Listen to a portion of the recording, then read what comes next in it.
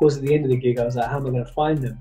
So I just kind of run back and just wait by the exit. Just happened to see them. And they were like, dude, we thought we lost you. And I was like, Shh, don't tell my dad. And my dad comes back, he's like, oh, you guys managed to, it was all good. And we were like, yeah, yeah, yeah, it was totally fine.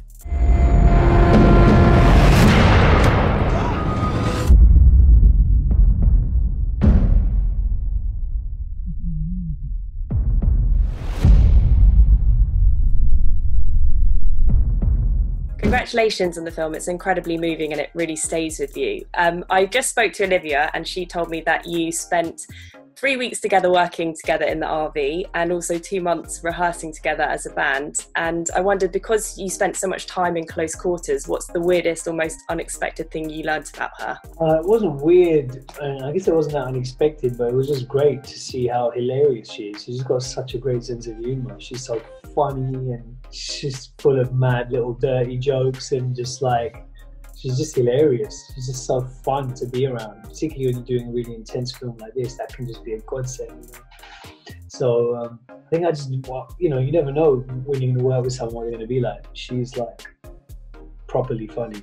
Riz was on like a, a an especially strict, I thought, health kick um, for that role, but I think he just kind of likes order and um, and things like that and control in those certain elements anyway.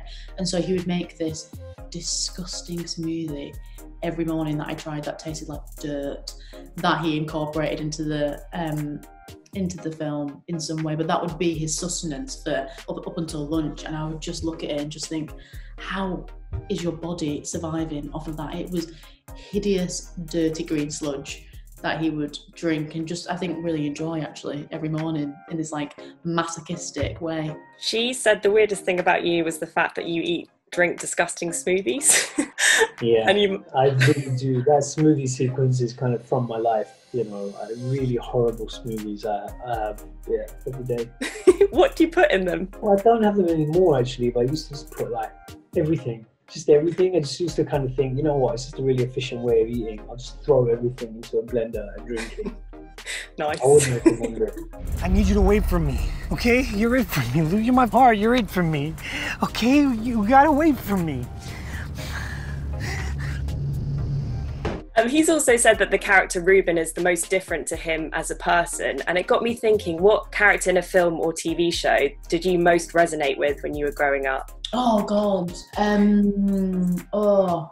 Well, you know, it's funny. I'm not. I'm not sure if I really stand by what I said there because I think part of what the journey is for an audience and for an actor with a character is to kind of start off thinking they're really different from them and to end up realizing that even though the circumstances and context and situations and experiences might be different, that actually you can still recognize yourself in them and that there's a core of humanity that we all share.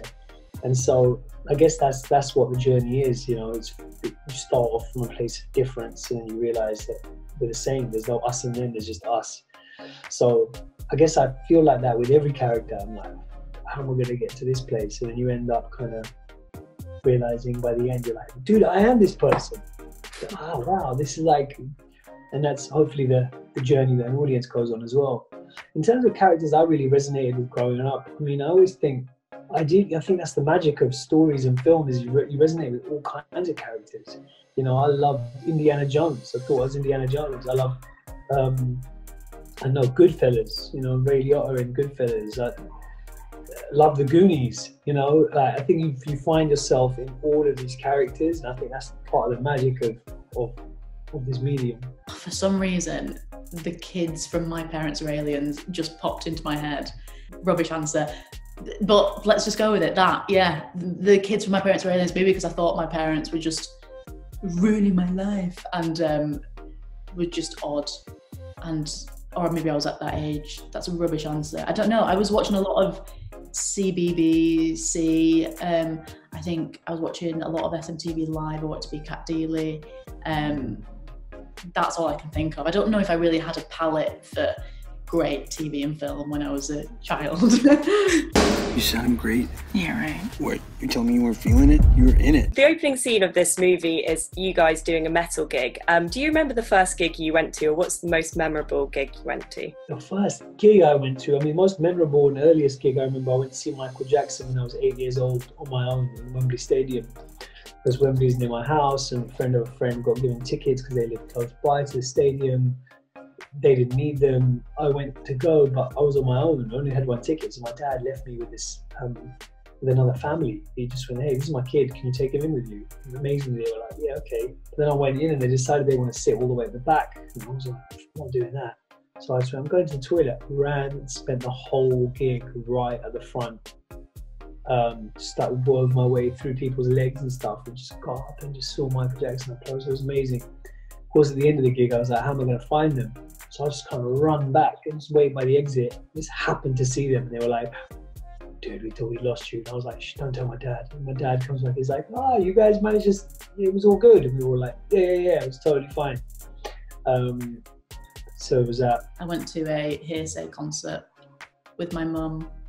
I was obsessed with Hearsay. Um, and we were in the nosebleed seats, and my mum got up to dance, and I just thought it was the most just horrendous thing I've ever seen. I was so mortified that my mum was dancing. I kept telling her to sit down and da- sit down, and embarrassing me, and I got told off watching Hearsay so I think I spent most of it in a mood just like this. Radio. Radio.